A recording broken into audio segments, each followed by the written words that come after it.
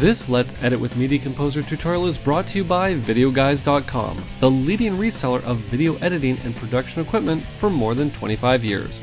Check out VideoGuys.com for great deals on Avid Media Composer software licenses, subscriptions, and upgrades, and use coupon code MC101 for 5% off any purchase. Hey everyone, Kevin P. McAuliffe here, and I am back again with another Media Composer 101 tutorial. Again this week we're going to take a look at another advanced lesson, and we're going to get back to basics next week with continuing our look at bins, so stay tuned for that if you're just getting started with Avid Media Composer. Now this week's tutorial is actually based on an email that I got from a viewer. It's from Francis, and he says, Hello, I have a question about something that I wrestle with on almost every project I work on. A lot of the footage we use is archival footage, for example, campus footage from the 1950s. We use Avid Media Composer 8 on the ISIS system. All of our projects are 1920 by 1080i HD at 5994. Now that's not frames per second, that's fields per second, so they are working at 2997 frames per second. When we use the standard definition 4x3 footage, my boss and some clients like to keep the footage stretched to fill the 16 by 9 frame. Now for me, I actually don't prefer to have that. I actually would prefer to have the pillar box, but that's okay. Let's keep going. And it's funny because he actually says, I prefer the side black pillars or pillar boxing using the reformat tool because I feel it's the least distracting while maintaining the correct aspect ratio. But is there a way to make the 4x3 footage fill the 16x9 frame but not have it be distorted or stretched? Would pan and scan work? If so, do you have a tutorial on using pan and scan or is the new frame flex helpful for this situation? I would like a simple solution to make the footage fill the window but maintain the proper aspect ratio. Any suggestions you have would be greatly appreciated. Sincerely, Francis. Well, Francis, don't worry. In this lesson, what we're going to do is we're going to take a look at how you can take that pesky 4x3 aspect ratio footage and get it into a 16 by 9 framed timeline and have it set up in a few different ways so that you can tailor it for whatever need you might happen to want it for. Okay, now I won't say it's really a short introduction, but let's get into Avid Media Composer and let's get started.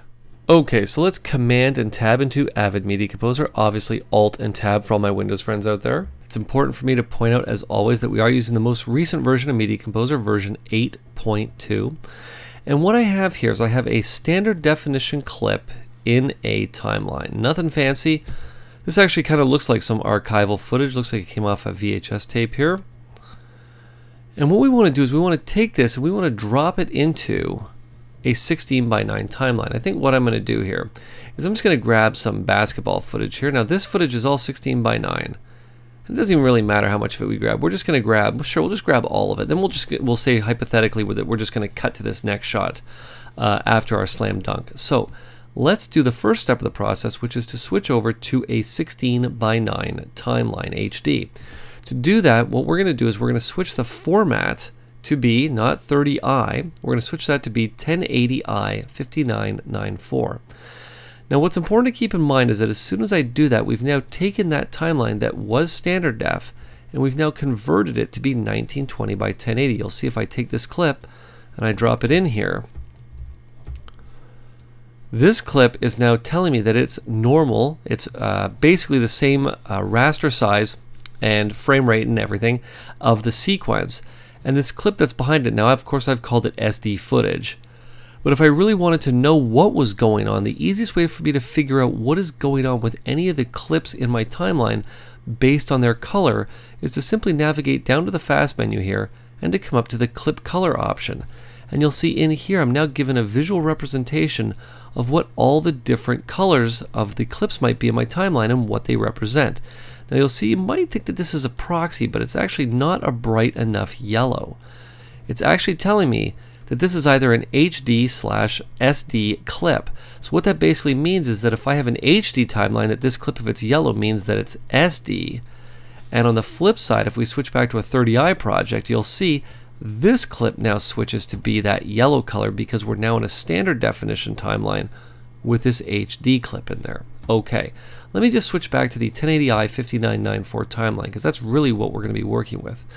Now you'll see that we have the problem that Francis had originally stated. We have the clip. It's now stretched to fill the frame, and this is not what we want. Now, we're going to talk about this in two different situations. The first situation we're going to talk about is pre-version 8.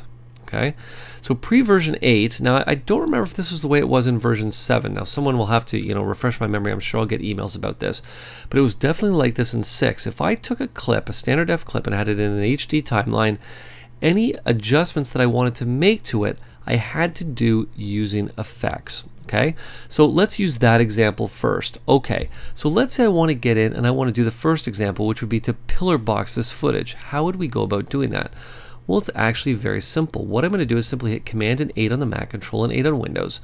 And what we're going to do is we're going to navigate all the way down to the bottom here in the effects uh, palette, right down here to the reformat option, which is right here. Now, inside here, you'll see that I have the option for a 14 by 9 letterbox, a 16 by 9 letterbox, or a 4, 4 by 3 sidebar. Now, that's more commonly referred to as a pillar box.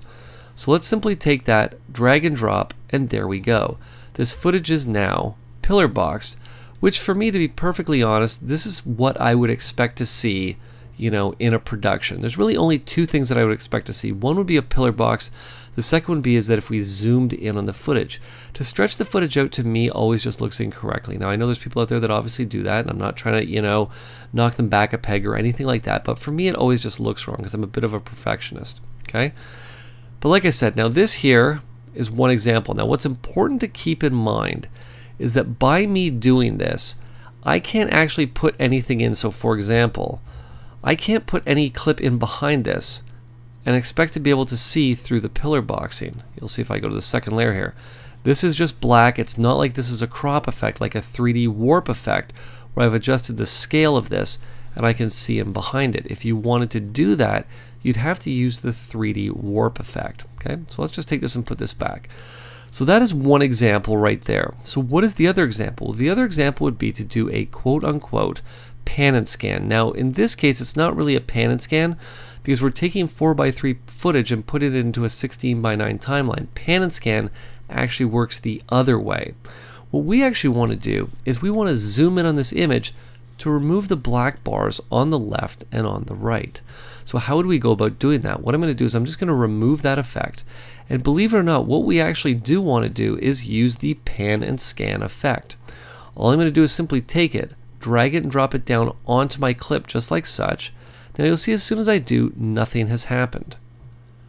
And the reason that nothing has happened is because I really haven't told the effect what I want it to do yet. So all I'm going to do is simply step into effects mode. You'll see that right at the top we have the aspect ratios. Okay, well, the first aspect ratio is saying, well, what is the source that you're coming from? You'll see that I have 133, which is 4 by 3. I've got 166, you know, 16 by 9, 185, 235. So we have a lot of options in here specifically for working with HD footage in SD timelines, okay? But for us, we're just dealing with 4 by 3 And what we're doing is we're actually going at it in the opposite. If I was going from HD to SD, we would come into the source, set that to be something like 16 by 9, and we'd have the target here set to be 4 by 3. We're going to reverse that.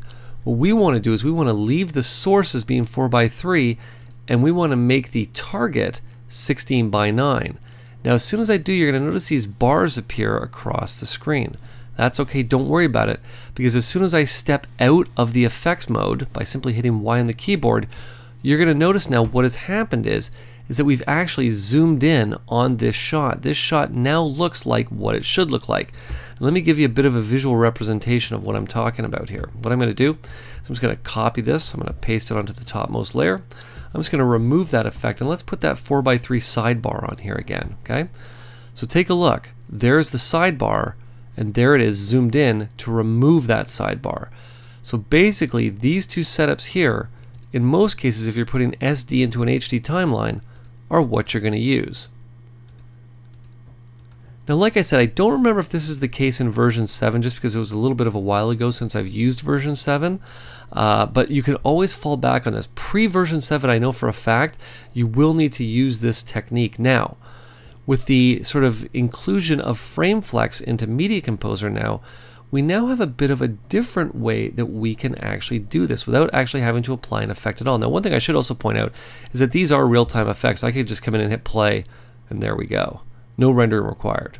Okay, but what we're going to do is we're going to remove this topmost layer here. I'm just going to remove that here. And you're going to notice that I have a green dot on this shot. Now in many cases what people think the green dot means is that it means that this you know shot might be a different frame rate or something like that. But these days what that green dot also represents is the fact that this shot has frame flex applied to it. You'll see right there. Now as soon as I step in you're going to notice that the frame zooms back so that it fits the entire uh, 16 by 9 window here. Now I have the black box or the pillar boxing on the left and on the right.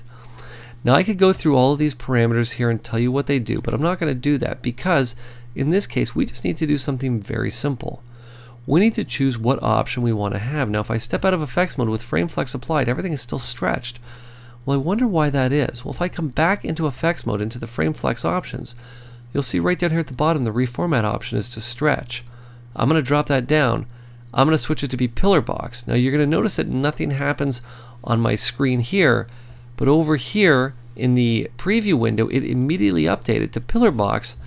And if I step out of effects mode, I now have this shot pillar boxed without having to apply an effect to it. And of course, if I step back in, I do have a couple more options, one of which is being center cropped or center and keep the size. You'll see the difference Here's center cropped. There we go. Now, how can I tell that this now is actually doing the proper pan and scan? I mean, it's not really pan and scan, but the, the proper zoom in on our shot to make it look the way that it should? Well, it's very simple. If I head back into the effects editor, you'll remember I told you in the preview window, as we update our reformat, it's actually showing it to us. And this is the way that it looked when it was stretched, and this is the way it looks when it's center cropped, which is exactly what we would want. We want to have it zoomed in cropping off the top and the bottom to fill the entire frame. So you can see that using Media Composer 8.2 gives you a whole new world of options, one of which being frame flex to really be able to get in and format your footage exactly the way you need it so it always looks correct in any timeline you happen to drop it in. Now, before I wrap up this lesson, I want to thank our sponsor Video Guys, and don't forget to check them out and use coupon code MC101 for 5% off your Avid purchase or any other purchase including G Technology storage, software plugins, and so much more. And if you like this tutorial, please click that subscribe button. And don't forget that if you have any questions, you have any comments, or you have any tutorial requests, you can post them in the comment section below this lesson, or you can send them to Kevin P. McAuliffe at gmail.com. This has been Kevin P. McAuliffe. Thanks a lot for watching.